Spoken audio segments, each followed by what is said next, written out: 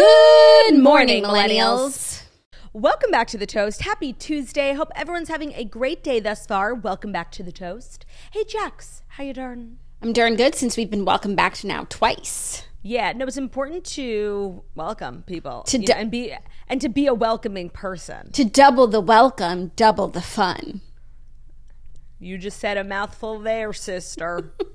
Anyways, I feel sufficiently welcomed back to the toast. Good, good. I'm glad that this is a welcoming environment for everyone today. Uh, thank you for that, Turdy. It's a pleasure. um, before we dive in, let's talk really quickly. Just send some love to our Nashville Toasters. Yesterday was such a terrible day. Um, I know everyone all over Nashville is just heartbroken, and so we just wanted to take a moment and acknowledge what happened at you know that school with those beautiful kids who are just. It's just a. It's a horrible. It's It was a terrible day. Yeah. I have so many words. It's not the forum for all of them, but I just am heartbroken. And this morning choosing stories, it's like It's what's the point? Yeah, what's the point? Um there's also like more news like coming out. There's footage now of Oh no. the girl breaking in and um roaming the halls and everything and it's just horrible.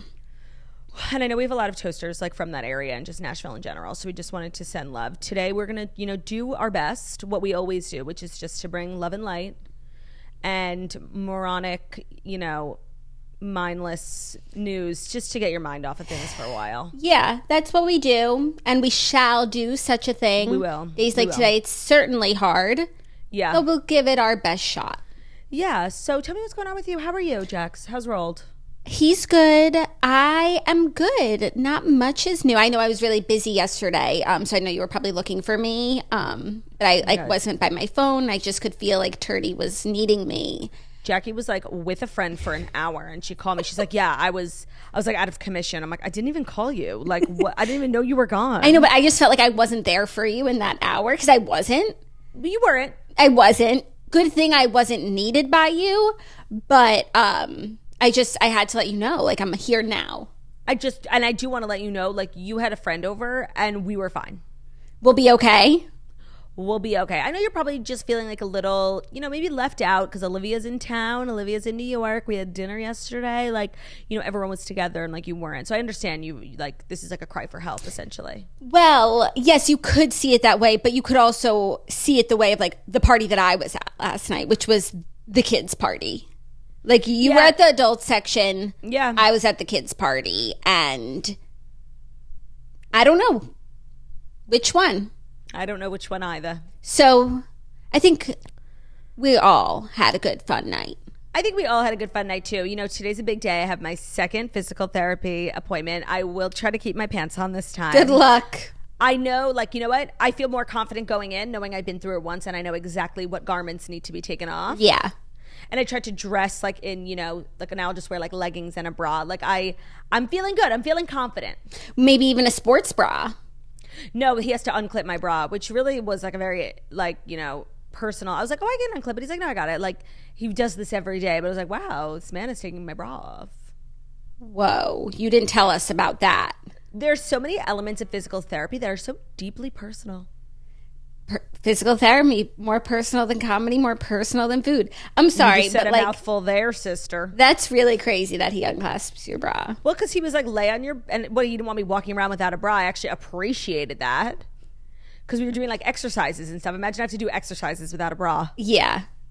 But then there was a portion where he had to put this like thing on my back, and so I laid on my stomach, and he was like, he just unhooked my bra. Like it wasn't weird. Like I'm telling you, It's much too much. The intricacies of physical therapy.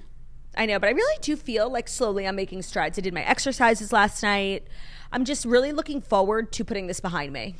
I'm looking forward to that too, Turdy.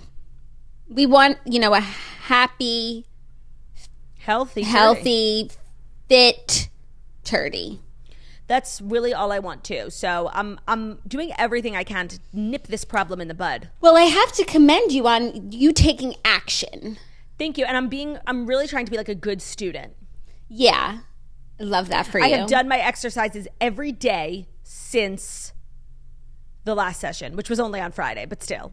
He's going to be so impressed with your I know. with your commitment. With my progress. Yeah. Are you doing it for that reason to impress? No, I'm doing it because my back fucking hurts. And it's like, what's the point of going to physical therapy every single week if I'm not going to like actually do it? That is just like a waste of everyone's time and money.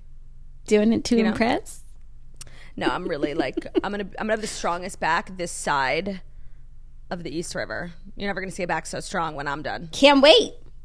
I can't wait too. How's Belly? Belly is good. Belly is good. Period. Yeah, all's good. Good, good, good. Quiet, quiet here. I finished a book. I just started the Redheads book. Wait, really quickly back to Belly. Mm. What fruit is Belly today? I'd rather not say. Really? Yeah, it's private. Are you being serious? Or you're going to tell us? I can. No, I'm not gonna tell you.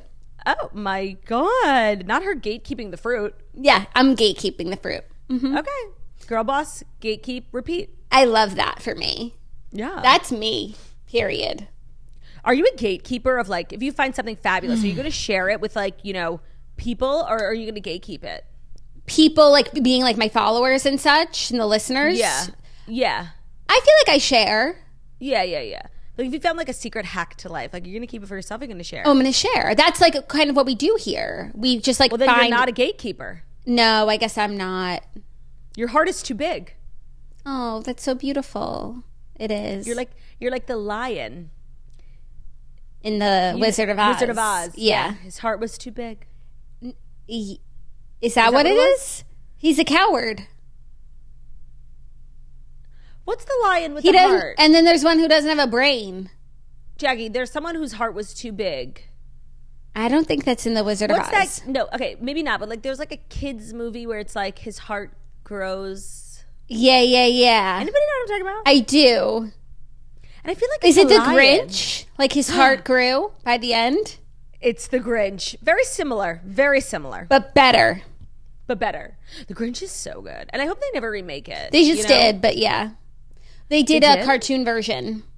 No, and I then mean, they like, did the Matthew action. Morrison version. No, those don't count. I mean, like the because like you know movies like that get remade every you know Beauty and the Beast gets they always get like a facelift, but there will never be a better Grinch than Jim Carrey, and they should just leave it at that. I agree. I think they will for a while, at least you know for the next decade.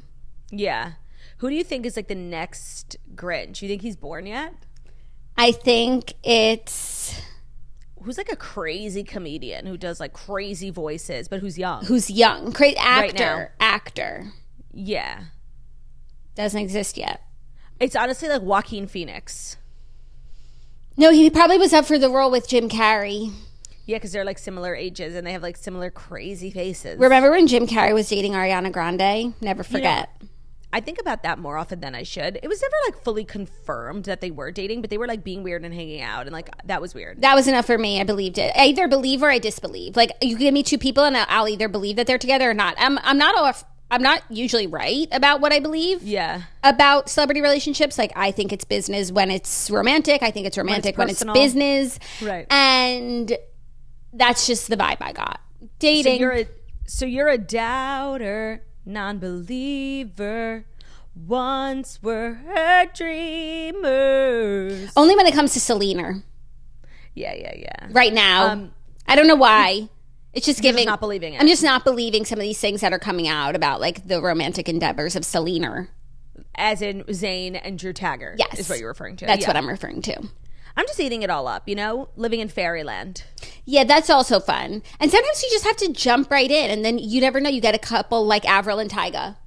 I know. It's just like in this age of information we're living in, we are constantly bombarded. There are so many stories we talk about here that were never true, that we never get like follow ups on. It's just like it's nonstop with like anonymous gossip and like, you know, people everywhere having a cell phone taking pictures. Like, we are but constantly bombarded with information that like never turns out to be true. But like, we spend so much time and brain power like talking about, you know, the possibility of it being true.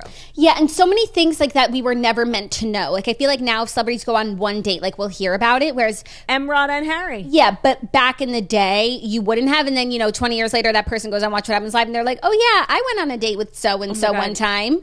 You're so, it's always on Watch What Happens Live. You're so right. And it's just a fun fact, but you didn't get invested in it because now it's just in the past. But now we get invested in all of these small things. So and so were spotted at dinner, and it's like, what does it mean? Like the Weeknd and Angelina Jolie.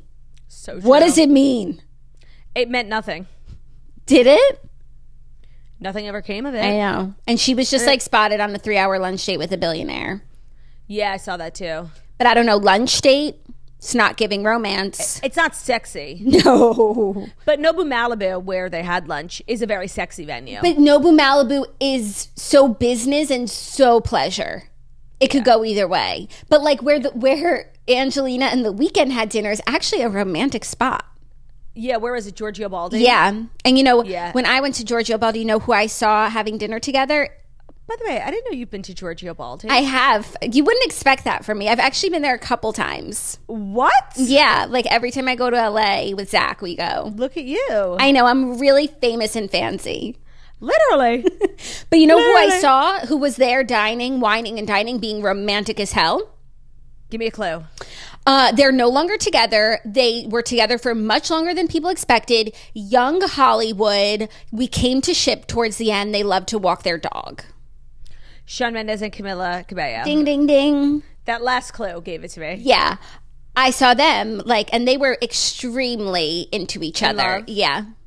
Yeah. I believe that relationship. At first, I didn't. Yeah. No, and it may, I think I already believed it by the time I saw them together, but it was like if I hadn't believed, I would have been a believer.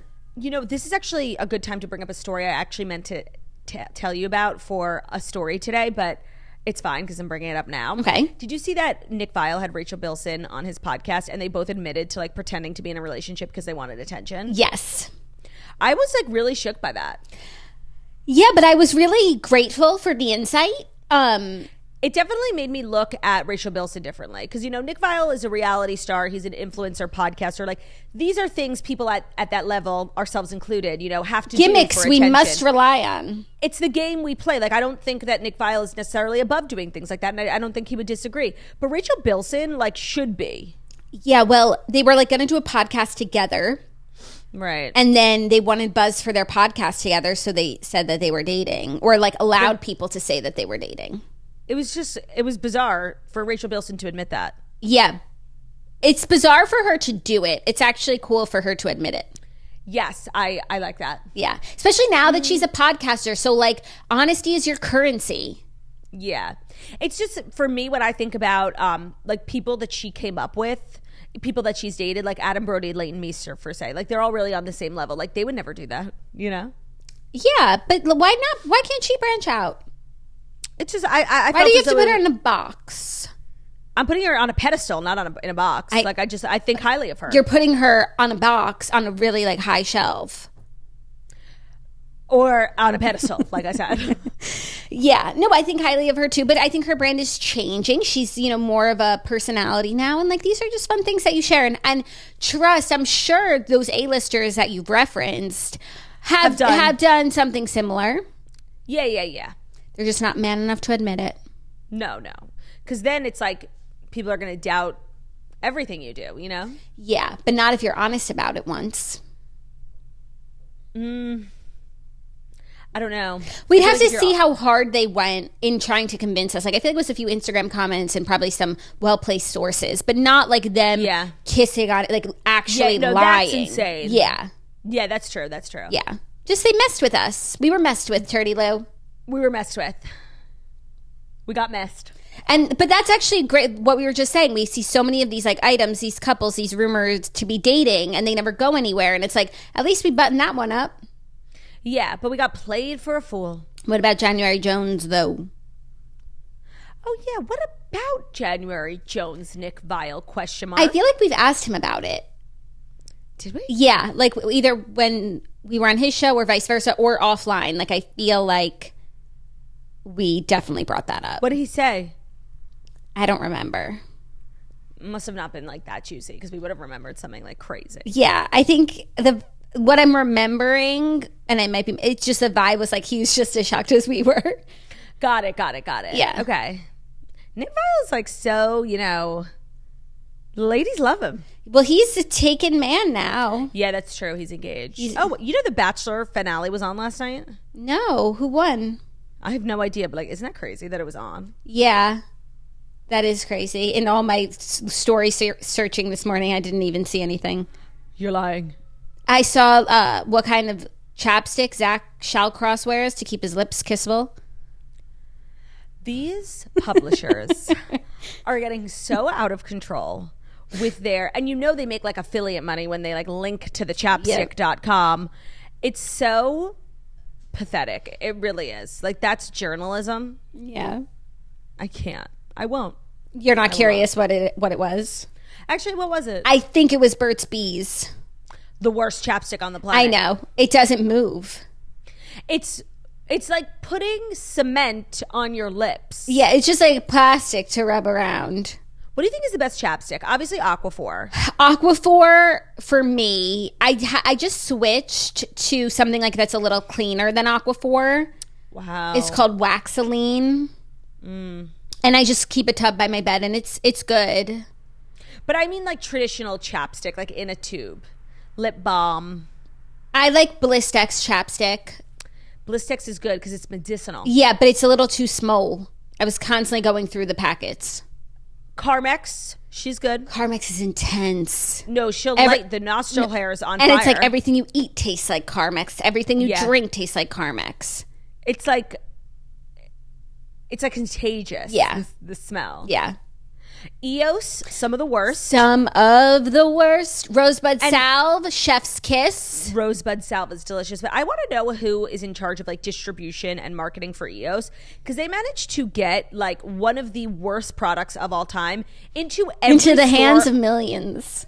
Uh, every literally every store, no matter what you go to, like if they don't sell like cosmetics, store, like do you guys have chapstick? They carry an EOS, like literally at a cigar store. Like it is crazy. It's so true that they have great marketing. I also remember they had good PR. They were in Miley's music video for Yes. We Can't Stop.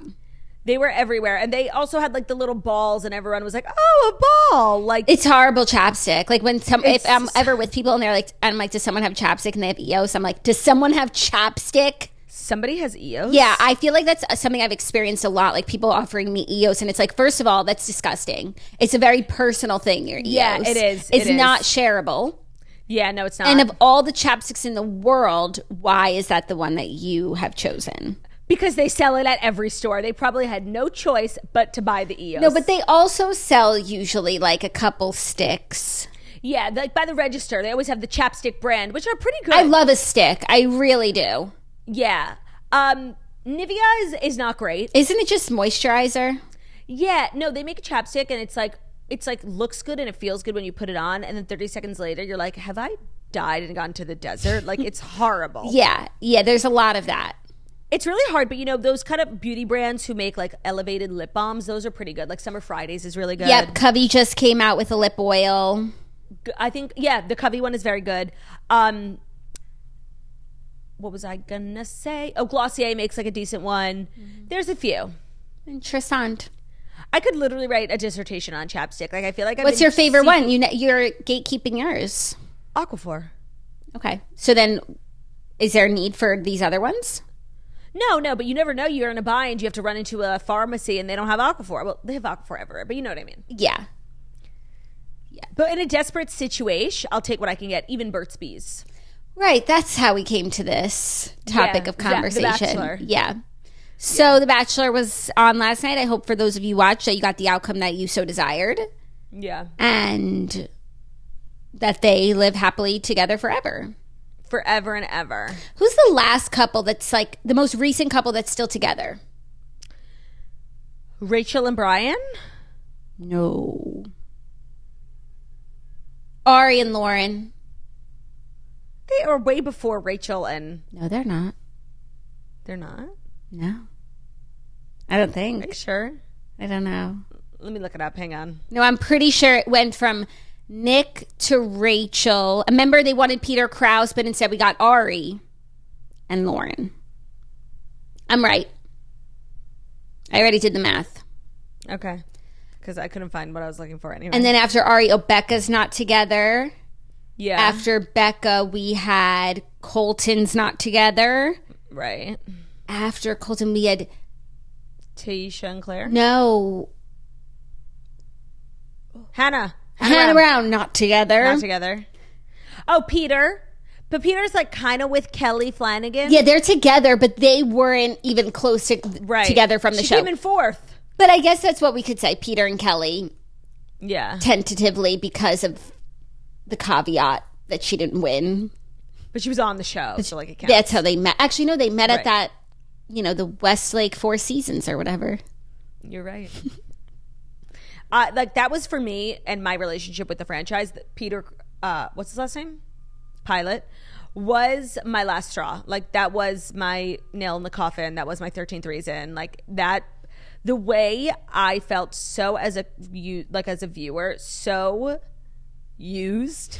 Like I can't explain how my time was so wasted on this like one of the probably one of the worst bachelors in history. And I love Kelley Flanagan. This is nothing against her. Yeah, but he had good girls. It's all about the crop. He had amazing girls: Hannah Ann, Maddie Prue, Kelsey, Victoria Fuller, Victoria Fuller. aka Laturdia. yeah, Laturdia 2.0, Yeah. He did have good girls, and then from there we had Clare and Tasha, Tasha, and then I Matt, Matt and. Rachel, Matt and Rachel. Matt and Rachel, Yeah, Matt and Rachel.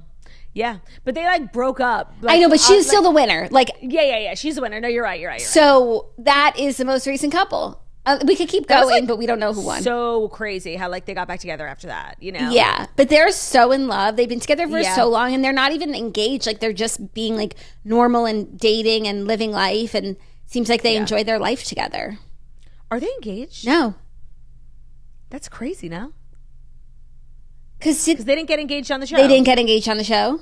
Did she? Did he propose before, after the final rose? That's such a great question. Let me Google it. I, do not believe that they are engaged. I don't. They're, they're definitely not engaged right now. But did they get engaged, call off their engagement, and then get back together as a couple? I think so. That's like wild.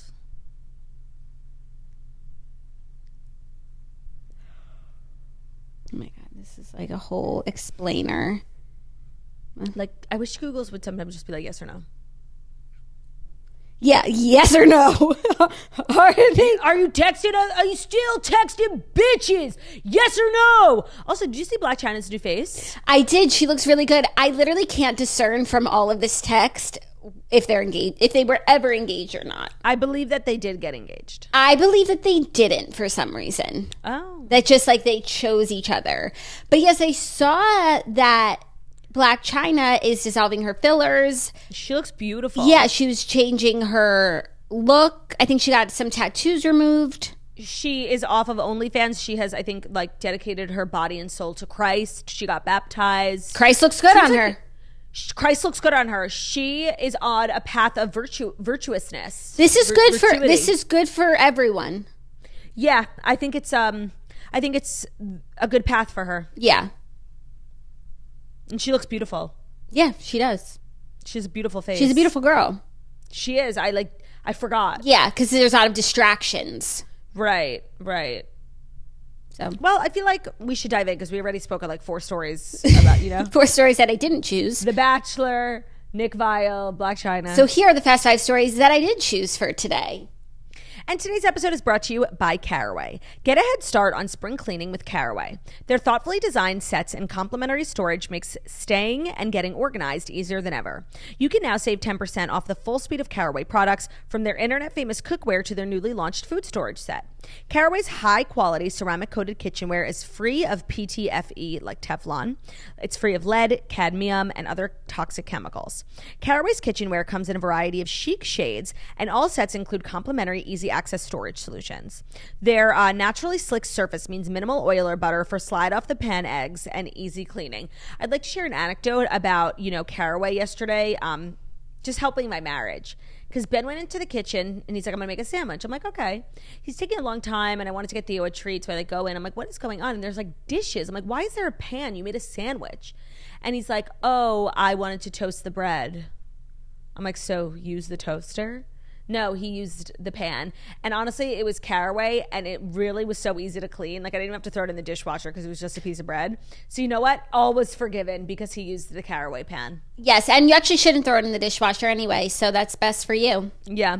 Um so again, it's non-toxic, easy cooking and it's super well loved. Over 40,000 people including us have raved about their caraway kitchen.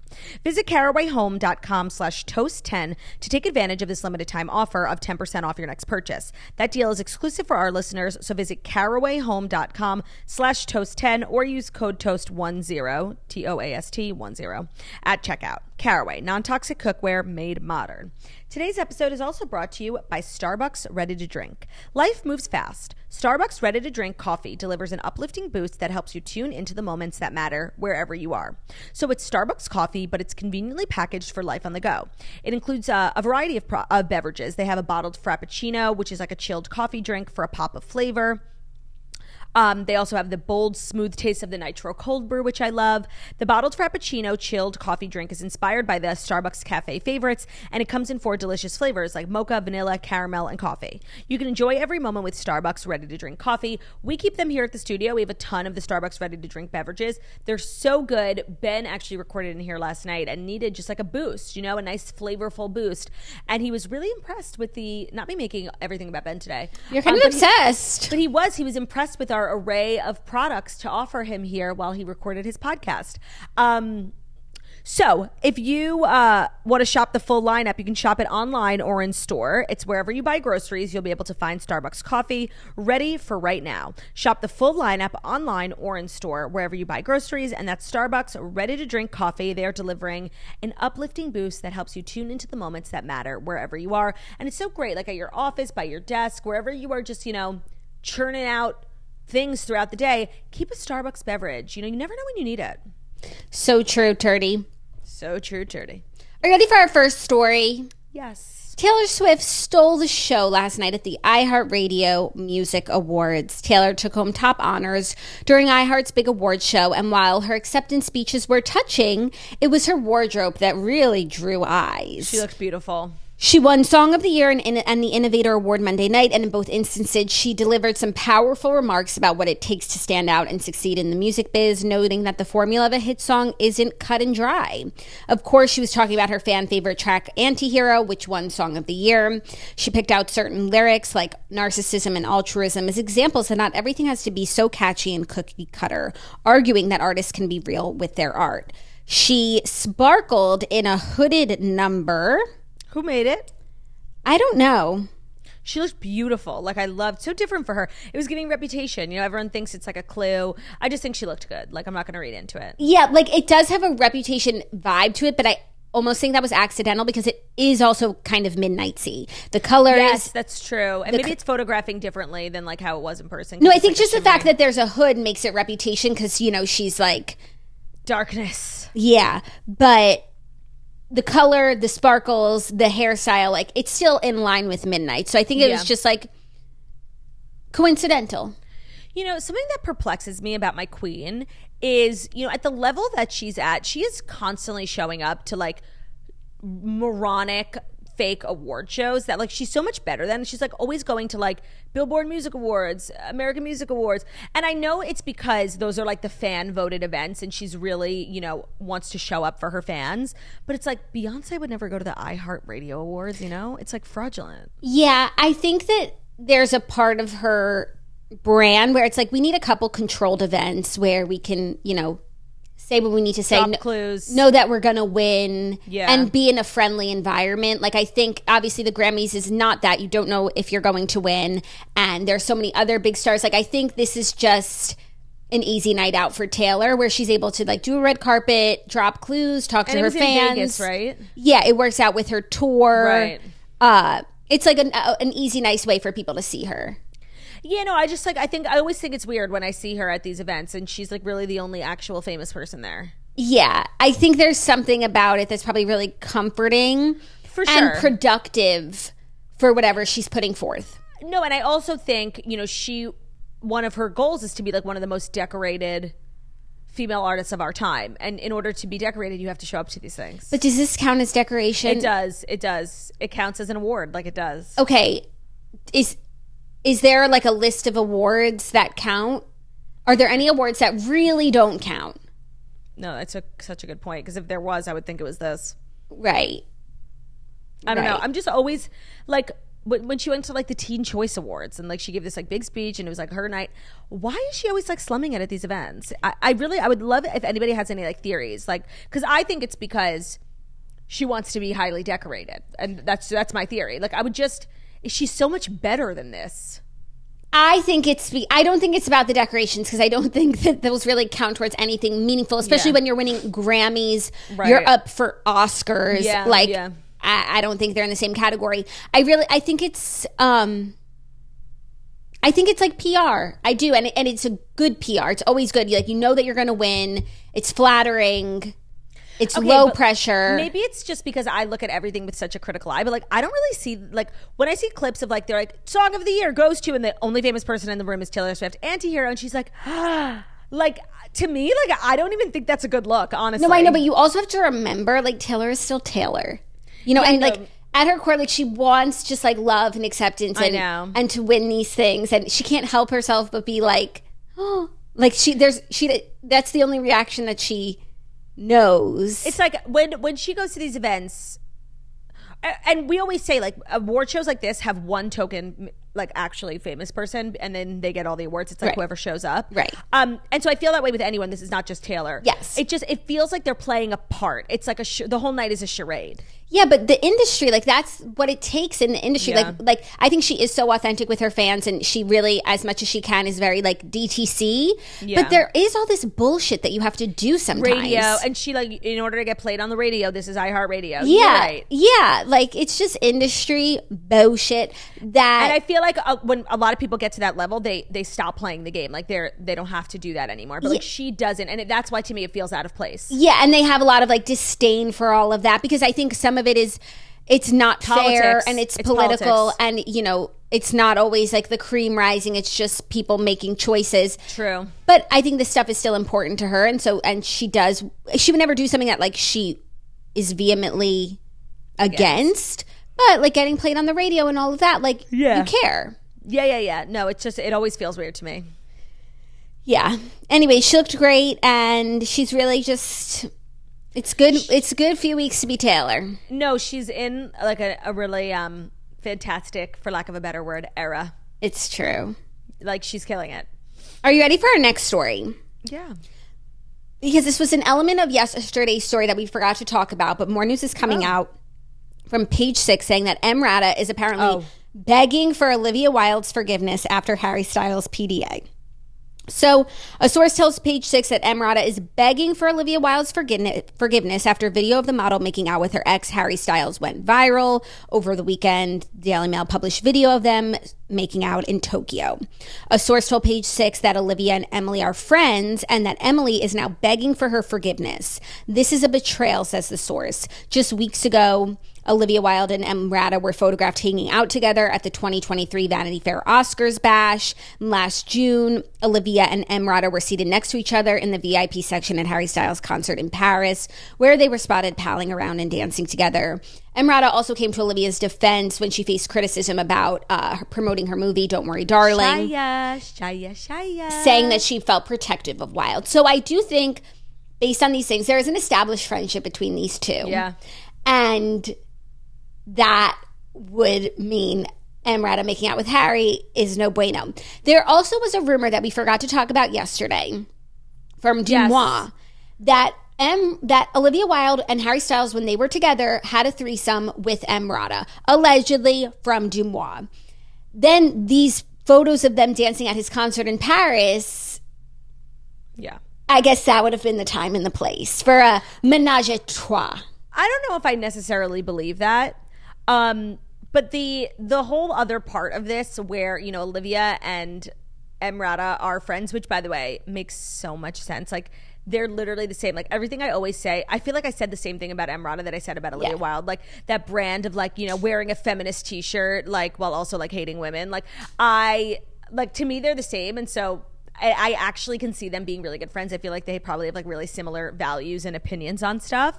Um And the other thing to follow up from yesterday is that Harry and Olivia, nope, Harry and Emrata were both at an event, I think for like Michael Kors or something.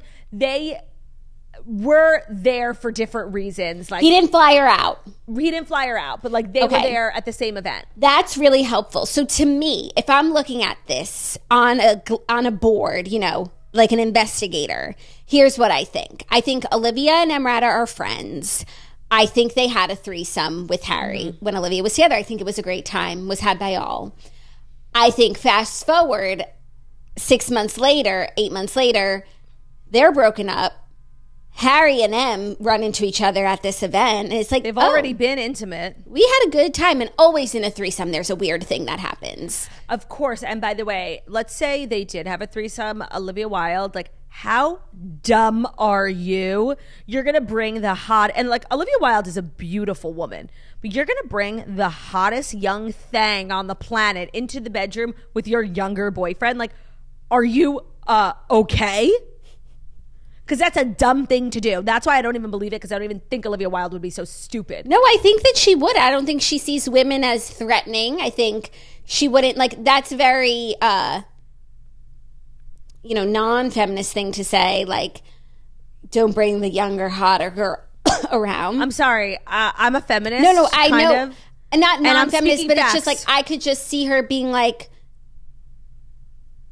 Yeah, love is, you know, for everyone. Yeah and that you Like, wouldn't exclude one woman just because of the way she looks and that you know what i mean but like I know, but you know what? At the end of the day, like dating relationships, it's all a game, and you have to do anything to like, keep your man, especially when your man is the hottest man on the planet. But that's not how she sees things because you see things differently. no, I see things in reality, and if No, no, I see me, things the way wrong. that you. I see things the way that you see things, Turd. I'm just trying to like get into her mindset because I don't think she like thinks that way. You got to keep your man, keep him away from other Right. women because like that's just not the vibe Well, she you puts do. forth. Well, yeah, Well, you do. you do. I mean, th- that would be like me saying, "Hey, Giselle, want to fuck me and my husband?" Like, how dumb am I? yeah. Like, we get in there, Ben's not looking at me. Yeah, well, who knows what happened in the alleged threesome, but clearly it went well because A little too well. Harry and M were happy to see each other in Tokyo. Right. So now, like, thinking if they had a threesome, them making out is just nothing. Yeah, it's like they've been there, done that. And I'm sure Olivia, if they do have a decent friendship, I'm sure Olivia's pissed at her. Like, you were just making out with my ex, but she also has no one to blame but herself for bringing them together if You all of this is her, true. You invited her into the bedroom. Like, now you're mad they kissed in Tokyo. Like, When you maybe asked for- thought of that Yeah. before you let them fuck. Yeah. But this definitely throws a wrench into Emrata and Harry like dating in the future. No, they're, it's not. Eh, They're not going to date. Like, because I- really, I'm telling Emma- you, we were never meant to know this. Olivia Wilde was never meant to Yeah. find out that they smooched in Tokyo. They're on the other side of the world. They're young and single. Okay, so they kissed after they had a threesome. That's nothing. We were not Yeah. meant to know. This was Yeah, like, disaster. even- I, I actually think Emrata like really is um like a girl's girl. Like I think that she is. okay. And I think that like even if Harry wanted to date, like I think she's focused on getting back in the good graces of Olivia Wilde, honestly. I think she doesn't care about Harry enough to ruin her friendship with Olivia Wilde. But I think that if it were a guy that she was all in for, Mm-hmm. so long. So long, farewell. I'll be to say adieu, adieu, adieu to you and you and you. You and you and you. That's how the kids say it in the movie. Yeah. Austrian. Austrian campers. Yeah. How are you? Um. So yeah, these two are n- definitely not like. I do believe this is probably the last we'll see of them. And it was supposed to be, we were never supposed to see them. And like, what little sneaky Sneaky. phone? Who did that? No, not even. I'm sorry, not the phone. Like, thankful for the phone. Whoever like was at that party and knew that we needed to see this, but the two of them sneaky because like, Yeah. we, imagine this happened like we never knew about it, but it's like just knowing the history weren't now. supposed to know. like that's really a bad look for Emrata because I think she is a girl's girl and a girl's girl Right. doesn't do that. No. Right. Yeah, No. right. Are you ready for our next story? Yeah. Because it's some sad relationship news that I do feel relates to the show. Okay. But it doesn't, in, in the sense that it doesn't relate to the show. Oh, in that sense. Okay. let me let me explain. Backstreet Boys AJ It does. It does relate to the show. Backstreet Boys AJ McLean and his wife Rochelle separate temporarily to build a stronger future. Now I'm going to give you the information and then we'll talk about how Let it me may find my pertinent information. how it may or may not relate to the show. AJ McLean and his wife Rochelle are taking some time apart. The Backstreet Boys singer, who's 45, and his wife, who's 41, that might become important information later on, are separating after 11 years of marriage, but plan to reunite in the future, they claim. A statement was put forth marriage is hard but worth it. We have mutually decided to separate temporarily to work on ourselves and our marriage with the hope of building a stronger future. The plan is to come back together and continue to nurture our love for one another and our family. We ask for respect and privacy at this time. Quote, separation is hard enough without the commentary. Oof, we're about to comment. Please be oh. kind and please be kind and remember there are children involved, Turdy Lou. Turdy Lou. Okay, bitch. Oh, sorry. There are children involved. End quote. Turdy Lou. Oh, n- now to you, Turdy Lou. No, no, no, no, no. It was Oh. it was uh, definitely directed at you, but I didn't want you to think it was part of AJ's statement. Oh, and that is what my like Okay, immediate so thought. here's what I got tagged in this so many times yesterday because if you listen to the toast every day, you know that a few weeks ago someone wrote into Dear Toasters talking about how a former popular boy band member who they listened to a lot growing up came to their college for a tour I'm trying to find it. Let me get the um. get the details. Came to a Yeah. college for a tour and kind of like was putting the moves on her and then texting inappropriate and whatnot and wanting to come backstage and all that jazz. And it turned out that he is married and he has three kids. So the toaster was asking, like, what do I do? Should I message the wife? Like, what? What do I do? So we gave our best advice, but then we also tried to speculate about who it was. And our best guess was that it was Nick Carter from the Backstreet Boys because he is married and has three kids. However, and so now people think maybe it was AJ McLean. He's married, he has three kids, he's a boy bander, they're on tour, etc. However, Right. the ages and the timelines actually do not add up for it to be Backstreet Oh. Boys. Because this girl who wrote in, I think she is 20, which would mean that you have to remember, we're more than 20, a lot more than 20. She would not even have been alive, really, or maybe she'd been like screaming in the crib for when the Backstreet Boys had their peak. People were guessing a lot of other bands that are not like from the Backstreet Boys NSYNC 90s era that are more contemporary, like uh I forget what they were DMing and stuff. I'll have what episode was it? Let me go to the episode because the comments give good band recommendations, and I enough to convince me that it wasn't People the were- Backstreet I, Boys. I thought I a lot of people agreed with me when they said it was Big Time Rush, yes, they did. and I thought that was a good call. I thought that was a good call too. Like, I really don't think it was someone from the Backstreet Boys. I think this is just coincidence. I think it is too. Um, but you know, you can't help but speculate. Yeah, because but I feel like I mean the statement gives nothing, Yeah, the statement gives nothing. and like why do you have to separate to work on your marriage if like something didn't happen? But also like. I don't know. I, I, I mean, I want to respect their privacy. We met AJ McLean on the CMA's red carpet, and he was so nice. A doll, a doll. was so nice, Turdy. So okay, wait, I I, think found they're it. just going through something. okay. This was her submission. I found it finally. Growing up, I always had this favorite. What day band. did we do it? March? Oh, I don't know. When did you don't know? No. Okay. Growing up, I always had a favorite band. Their sixth concert I went to was near my university. When I ha- went to the concert, I had the opportunity to meet them. One of the members talked to me a lot, and we kind of hit it off. And he uh, asked to follow me on Instagram, and then proceeded to DM me saying it was nice to meet me. The next morning, I looked at his Instagram, and to my surprise, I saw on his profile that he was married with three kids.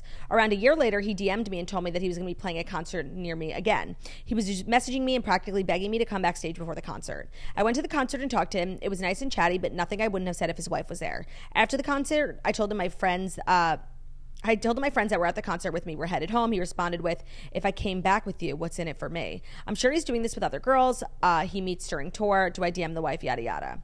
He's trying to hook up with girls ten plus year younger than him. She's 20, he's 45. Yeah, It's not him. it's not him.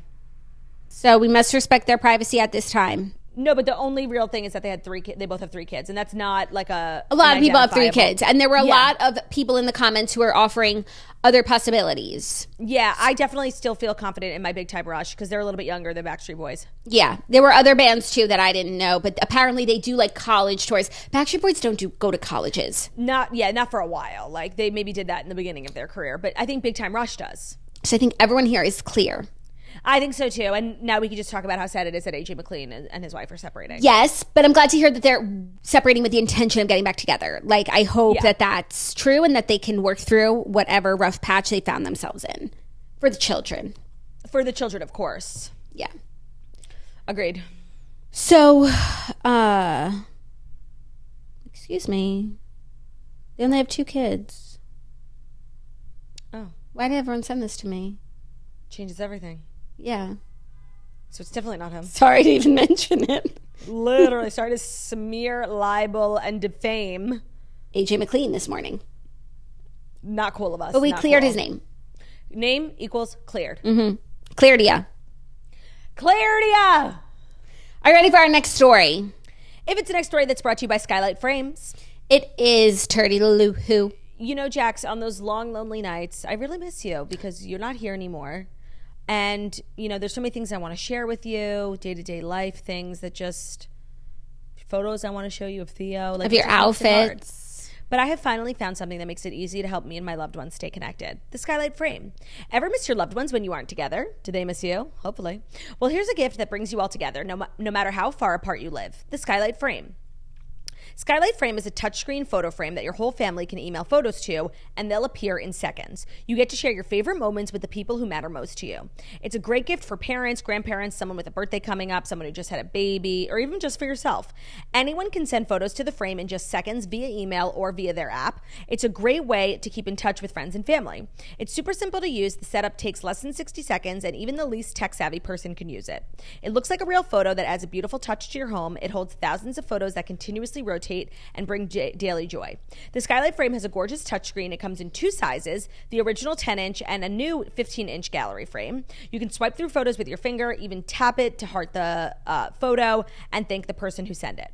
So I get asked about like the what's the digital photo frame company that sponsors the toast all the time. It is Skylight Frames. They have a 100% satisfaction guarantee. So if you don't love your Skylight, they will issue you a full refund. Time goes fast. Staying in touch with those we love is more important than ever, and now the Skylight frame makes it easy and fun. As a special offer for our listeners, get $15 off your purchase of a Skylight frame when you go to skylightframe.com slash toast. That's $15 off your purchase of a Skylight frame when you go to skylightframe.com slash toast. S K Y L I G H T F R A M E dot com slash toast. Thank you, Claudia. You're welcome, Jackie. Our next story, a little TV news. White Lotus season three, some deets are emerging. One deet. It will be set in Thailand. The White Lotus is heading to Thailand. Multiple sources close to the production tell Variety. As the first two seasons of Mike White's The White Lotus were shot at Four Seasons resorts in Hawaii and Italy, respectively, it's possible that season three will take place at one of the luxury hotels for properties in Thailand. That does make sense. HBO has Wait, say declined. that again? So the uh, White Lotus, Hawaii, and Italy were both shot at Four Seasons properties. Oh, four seasons. Yeah. yeah, but the hotel is called the White Lotus. Um, so there are four Four Seasons in Thailand. Is Bali in Thailand? Yes, but there is not a Four Seasons there. No, but like- Bali's n- a country, oh. right? Oh, Indonesia. Indonesia Yeah. is Bali. Sorry. I got my because like the nicest hotel in the world, like the one they say is like the nicest, is in Bali. But I got confused. Bali is in Indonesia. Well, geography queen. Totally. What's that? It's a Four Seasons. No, it's not a Four Seasons, but like it. If, if they were going to Bali, which I just got confused, I imagine they would try and shoot at what is great, like widely renowned as like the nicest hotel in In the world. Is that where Rach was? Who's Rach? Rach Parcell. She was just on a. In she was just in the Maldives. oh, oh, oh. no, it's called um, I'll Google it. it's like Bimmy. It's like a it's it's a four letter word that starts with B. Okay. 17 best hotels in Hawaii. Maybe they're in alphabetical order. Nihi, N I H I. That's the one? Yeah, it's like I think it's regarded as like one of the nicest hotels on the globe. You should go. A hundred percent. But I feel like I mean, of course they need a gorgeous hotel and they will have a gorgeous hotel, but it's like there's so many gorgeous hotels. They don't need to go to like the nicest one in the globe because it's Yeah, yeah, about yeah. like the story. So that's exciting. I think that will be a great location. And then also rumored about season three, rumored casting news, Yeah. extremely illegitimate. They were just spotted having dinner. Uh, Mike White and Danny DeVito. So I am actually really excited about the potential of Danny DeVito because now that we don't have Jennifer Coolidge, the show really requires that kind of like you know really um, different, uh, out of the box sort of character that Jennifer Coolidge played and that Danny DeVito could definitely play. I do have to say I'm like definitely like getting over White Lotus, like. I think with each season there's more intrigue and it's see it feels like it's gotten worse. Like there was so much intrigue this season and like I get it, but like was it good?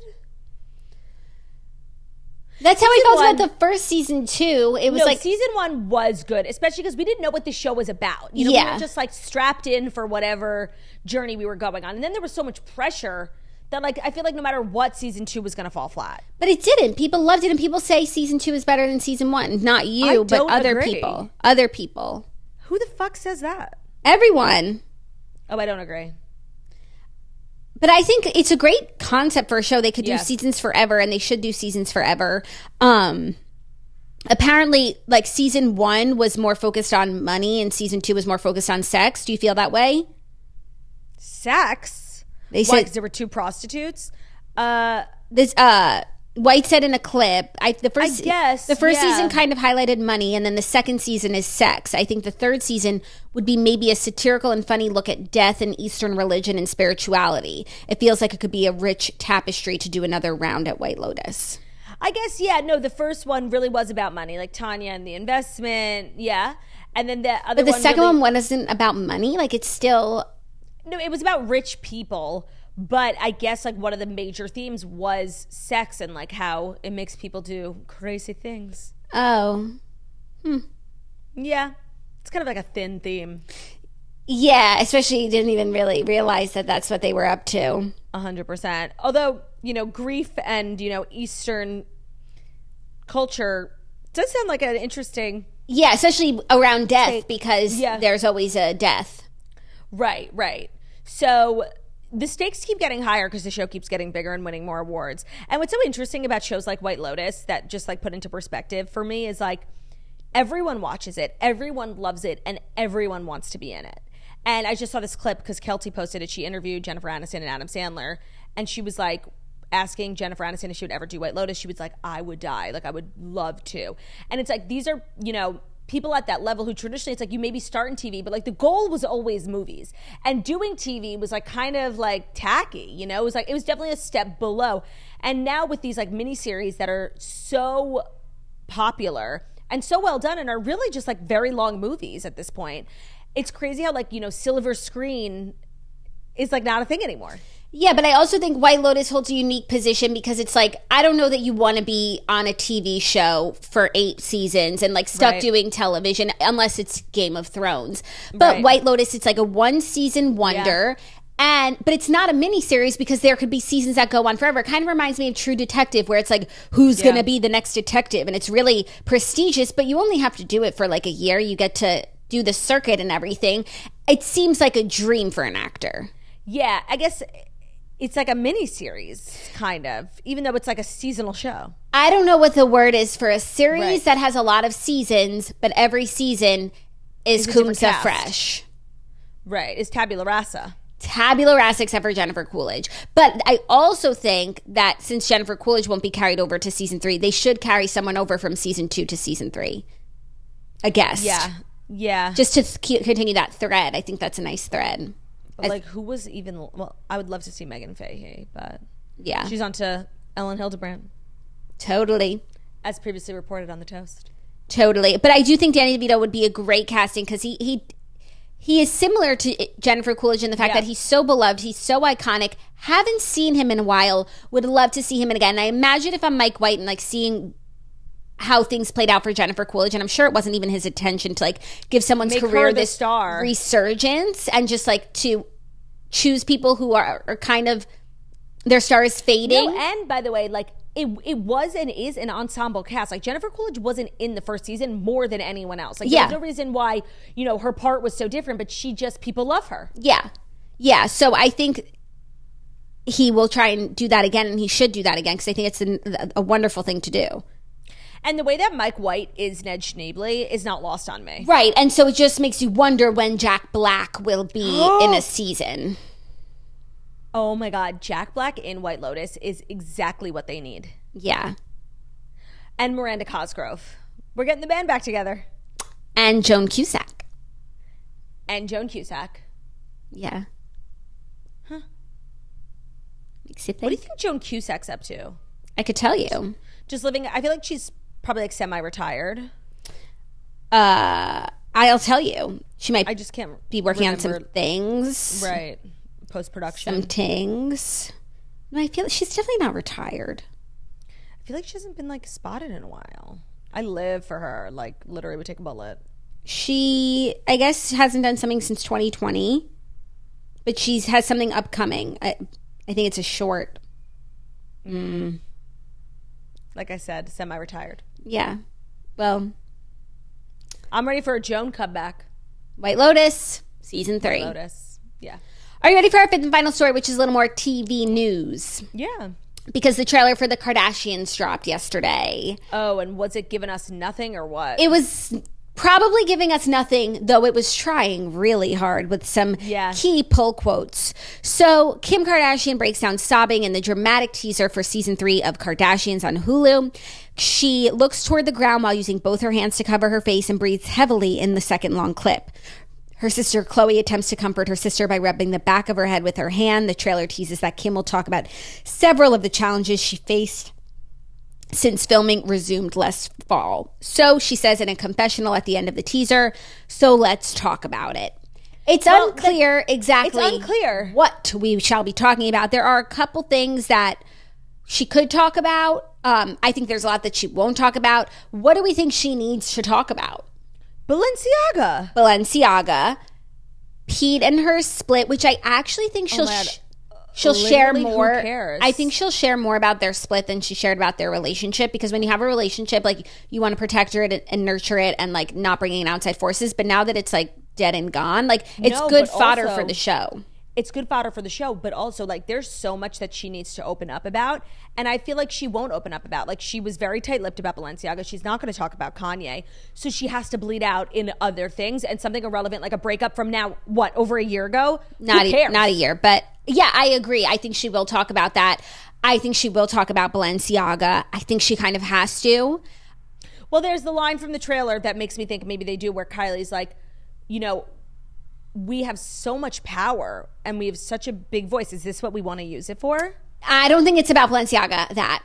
I think it's just about like her like then doing a storyline about like giving back. That it's a really powerful quote that she shared, but I, I don't think it's like gonna be um Oh. Part of a larger movement or something. Oh, damn. Okay. That's just like how I saw it. I think she will talk about Balenciaga because like that is what people want to hear from her about. She did part ways with them. I think she kind of has to because that seems to be really the reason why the family's in the funk. yeah. So why not? She won't talk about Kanye. Which I respect. I do. Me too. And um sh- I think she'll talk about Pete. I don't know what else is going on with her that she needs to talk about. Yeah, I don't know really like they've been so low key. So and, and I know the show is like delayed, so like we're gonna see stuff from probably last year, but like that just feels so irrelevant now. And then they haven't really done anything in the last couple of months because they've been in this funk. I just don't feel like it's the right time. Like I, honestly, I don't think we need an- a season right now. Oh, I feel ready. I'm ready to be I'm open. I'm open to what they have to share and what they have to say. Like I feel like I we've all been in a funk, a Kardashian funk. I am I want to get out of it. They are at times in my life like my favorite celebrities Yeah, I ever. So I feel like I'm more interested to watch this season than I was even to watch last season when like all things were good, you know? Right. That's fair. Yeah. No, it's more interesting for sure. And they are sort of in this rut, so it'll be interesting to see what they think the issues are, what they need to speak about, and what they have to say. Like, I'm like, are they going to acknowledge the rut? You know, the what? the rut. No, no, it's not that obvious to people who aren't you and I. Really? Yeah. Oh, I feel like it's like very obvious. No, it's not like there's people writing articles about it. Yeah, there's not like viral threads on Twitter. Like it's just me and you being like, it's not great. Okay. Yeah, and I'm sure other people feel that way, but they don't recognize that they feel that way. It's not like a a, a national movement that Yeah. they're in a rut. Oh, I totally thought it was. No, it's just us doing our thing. Uh, I'd rather see you out there doing that thing. Yeah, but nothing that they can't come back from. But they're gonna have to No. give. They're gonna have to like bleed out a little, Yeah, which like open up. Let's be real. Like, tell us what's going on. yeah, I mean they do, right? I know, but like they kind of do. Like when it's like so late, and I know that's like just the nature of the show, and they want to save it all for the show. But like, so if you're gonna like bleed out and tell me all about Pete now, like I so don't care. You know? No, I'm. I don't care about Kim and Pete anymore. Like I've moved on, but I'm still open to hearing what happened. Like that was really so hot, then so cold, and like that to me is their personal life that they would be sharing. That like I want to hear about Yeah, me too. I wish we would have heard about it like the at a- day of. But you got to give people this No, is pe- not the day of, not the day of, but like some sometimes like so much has happened since then. Like he's literally dated like two other women, right, you know? which is why into a car which is why she can talk about it now. right, right. You know, because Feel- it feels dated. there's nothing for, to protect. He clearly has moved on. Like trash him. yeah, literally. You know. We'll just have to wait and see because honestly, the trailer gave little to nothing. No, the trailer was really easy to see through. Like I, they really thought they did something. They pulled some strong quotes, but like they when, you have watched their show for so long, you could see how it's also like it could So be about true. nothing. Smoke and mirrors. Yeah. How are Yeah. we using our power? And then they like go and they do a day of service, which would be amazing, Right. but not what it we sounds like. Not what it sounds like. totally. It's easy to see through. That's a, a very, very w- w- good way of saying it. But as stated, I'm open. I'm open too. Like these are my girlies. I just need them to like you know bounce back. But you know what I'm not open to? A May 25th premiere date. Like that is in 2 months and I want my content now. content with a K. Like I don't want to wait 2 months on a measly trailer. Yeah. No, I'm sure we'll get like drops of stuff. But yeah, No, it's unacceptable. A month I feel like you really shouldn't be allowed to promote anything more than a month. a out. month max. It's better for them too. I agree. Cuz I'm open now, I'm interested, but am I going to lose interest? I couldn't tell you. Right. Where will we be May 25th? You know, I don't know. I'm hoping to be at the Eras tour. Right. Is that Memorial Day weekend? Yeah. Yeah. You never know. Yeah. So those are the fast five. Thanks, Jack. Great stories today. I enjoyed them. You're welcome, turd. You're welcome, turd. That's so nice of you to say. Um, so that's our show. Tis. Yeah. Hope you enjoyed it. Thank you so much for listening to the Toast the Millennial Morning Show, where we deliver the fast five stories that you need to know every Monday through Friday on YouTube. So if you're watching this on YouTube, please feel free to subscribe and this video a thumbs up. We're also available as podcasts anywhere podcasts found on Spotify, iTunes, Stitcher, Public Media, Radio, iRadio, Castbox, Southwest, podcast, fast, Toasty five star review, and beautiful setting, and wickedly talented we are. Hope you guys have a great day. Great. We'll see you tomorrow for Hump Day. Love ya. Bye.